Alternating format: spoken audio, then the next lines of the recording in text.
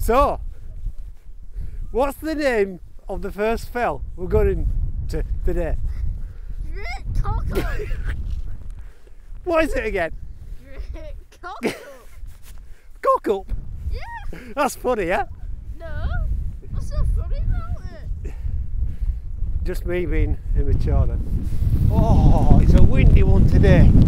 Forecasting gusts around 45 mile, no, 45 kilometres an hour on top of my second Wainwright today, which is the Knott. But I tell you what, it's a lot better conditions in terms of visibility in comparison to the last time I was here. So that's a good thing. Um, also, since my last video, the temperatures have increased. So my thaw's going on. Uh, I was on the A66, little patches of snow on top of Blencathra still, but we're not going to reach those heights today, so unlikely we're going to see any snow. Um, but we are going to get bombarded with the wind. I'm out with a little lad again. Should be interesting. And here's the route for the day. Which way? Straight up. Left. No, straight up. Oh, I don't know. Left. Yeah. So starting from the car park at Longlands, heading south east, which is the path which takes you alongside Longlands Beck. Um, quite a nice walk, actually, slow ascent for about two and a half kilometres, which will take you to the start of Trusmadoor, which is a small valley between Great Cockup and Meal Fell. Once you hit the path, uh, then takes you up to Great Cockup, quite a steep ascent. Heading west, you'll notice there Little Cockup. Yeah. Um, anyway, back down return route, heading back down the valley, and then take a small ascent up to Burn Tod, heading east, and that'll eventually take you to the Knott. Uh, quite a grassy walk, really, no distinctive path. From the Knott, heading north northeast will take you back down to Great Sca Fell. Uh, further hike will then take you onto Little Sca Fell, and from there it's a slow descent, uh, heading northwest. Uh, I'll be heading down to Charlton Gill, which is a path which lies to the east of Lowthwaite Fell and Longlands Fell, and from there simply join the Cumbrian Way and back to the car. So we actually went the wrong way. So there you go. I'm back on the path. This path basically takes us up to Trusmadoor. It's a bit steep, isn't it? It's made it. Yeah, this took us up to Trusmadoor. Now the wind is southwesterly, so yeah, we're heading more southwest, so into it. Thankfully, uh, I've dropped into the valley, um, so a bit of uh, bit of relief really from the strong winds. But I know for a fact that that is going to be the main battle. Oh, there's that tree. Remember that tree? See that? That was the focal point, one of my favourite photographs from the last time I was here. And you've got the road trees as well. In terms of light, it's not doing much at all. Forecasts rain, but light rain. Uh, that shouldn't be a problem. Um, waterproofs are on. I'm going to keep them on probably all winter. The added layer of protection. Um, once I get to the Knott, it's forecasted around noon. It's forecasted to drop around minus two wind chill. So that should be interesting. He just dropped his glove and he don't know because he's he's filming away. That's our first sighting of Trusmadoor. Uh, bit of a, an ascent, which then take up to the bottom of Great Cockup um, before heading up there. Yeah, looking back at these subjects, just turn you around. I recognise them. in a moment, in a moment, I'll show you the copse of trees which I shot from a distance. Um, no, not really any better conditions today, so I haven't attempted the same shots. So here we are. I'll show you this. You just see this.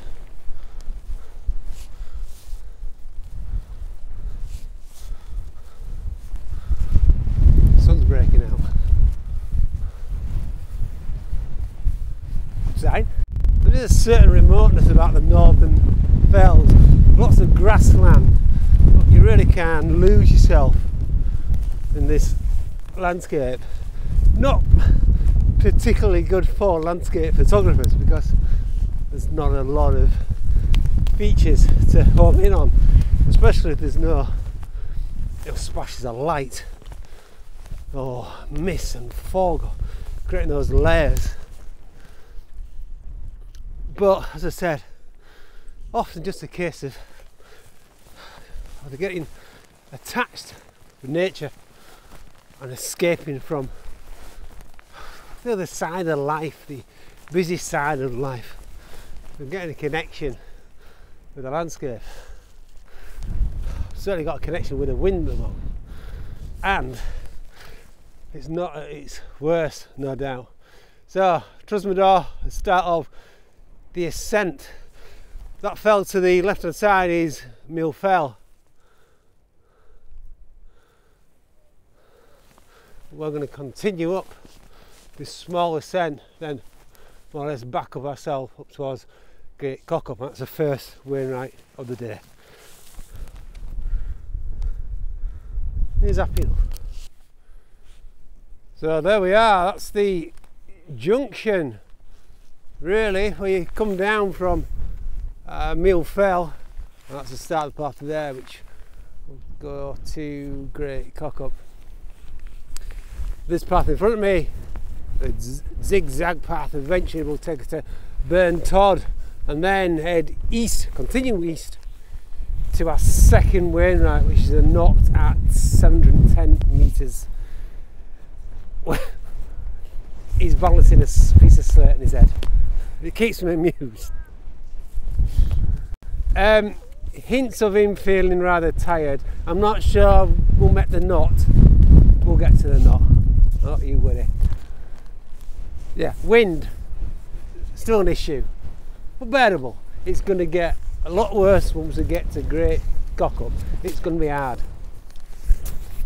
Hard Cockup. No, got that bit out.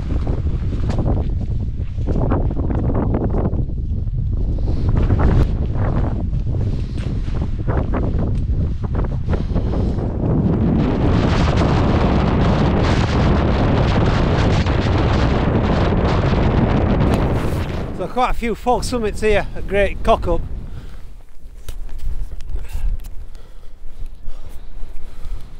The cairn, from memory, is right in the middle there. Um, as, as expected, it's blowing quite early.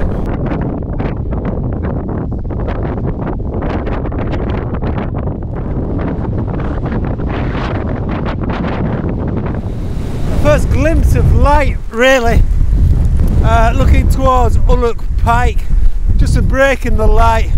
Um, and this is all about layers and a bit of detail in the cloud. Quick shot, probably went in all the way to be honest, I can't tell at this moment, I'm about 400 mil. I've taken a few other options, but yeah. Splashing the light as well over towards Bassenthwaite. Oh, it's horrendous.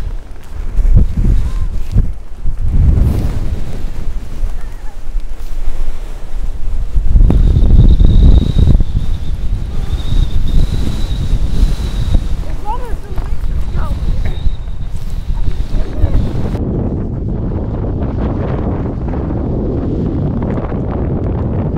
Right, okay, so slowly making our way down from Great Cockup.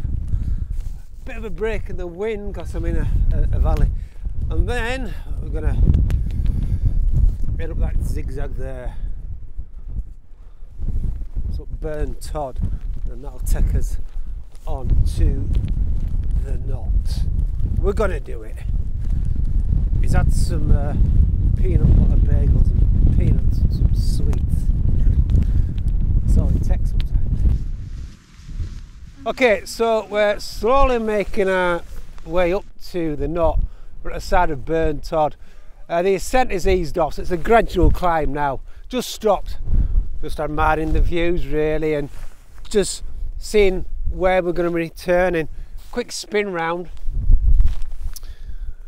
Mill Fell is what we did last time. We're not going to hit that today. Spin around again. This lump here, that's Frozen Fell. We're going to make our way down Great Sca Fell, Little Sca Fell, and then we're going to head down towards the valley. We're going to avoid Longlands. The rain is intermittent.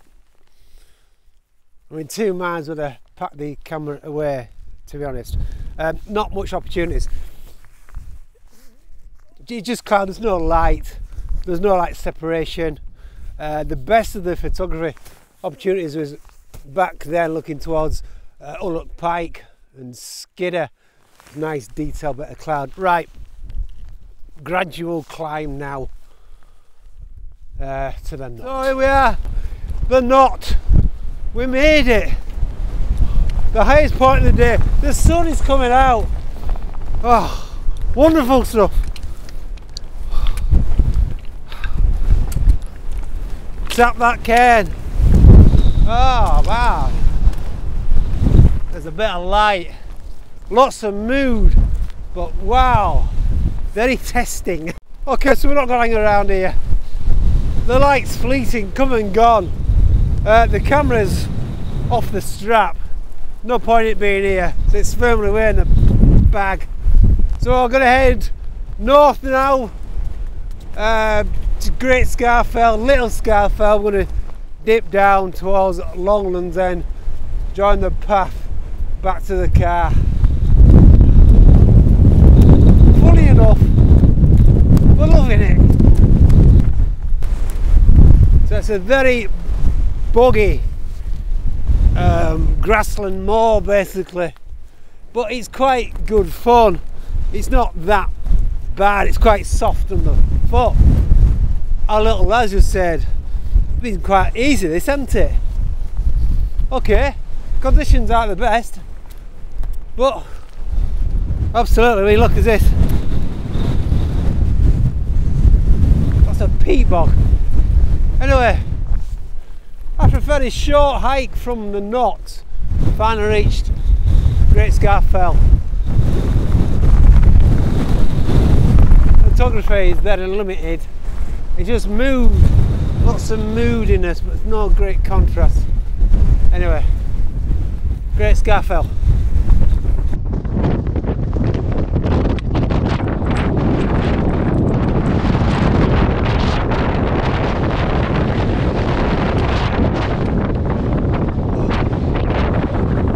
I thought the wind might have calmed down a bit, but it doesn't seem to at all.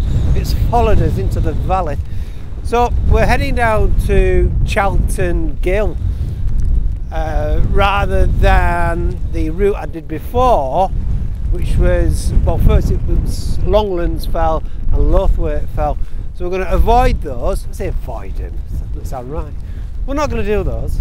As I say, we're going to head down to this gill and head towards a copse of trees, which I did photograph last time was here in the mist. So I'll have a look at them and got the conditions, of course.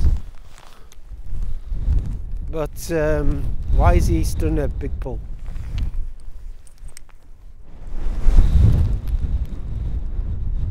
Charlton Gills quite quite pretty actually. Quite a nicely carved landscape. And it's an alternative route of course. I've not come this way. And that's the thing, when I'm doing a second round of Wainwrights I like to try different routes. And uh, today's route is definitely one of those. Right, okay, um, yeah. There's no light. It's one big blanket cloud bit of definition um, yeah not a day for photography there's that one occasion of uh, Ullock Pike, but other than that, not much going on. I did, however, miss that momentarily moment, momentarily moment. Anyway, that fleeting light. I was approaching the top of summit, but to be honest, the uh, camera was in the bag because I put down my weather cover somewhere, my long lens, so I don't know where it is. That's the reason why it wasn't attached to the uh, uh, backpack. Not to worry, it was literally like 10 seconds. Anyway, I missed it. I'm not going on about it. So that is it. Good distance today. 12k we've done today, which isn't bad at all for the little lad. Has enjoyed it as well. That's what's key.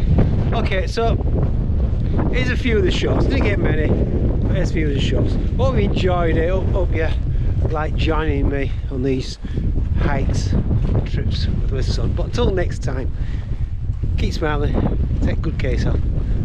Bye bye for now.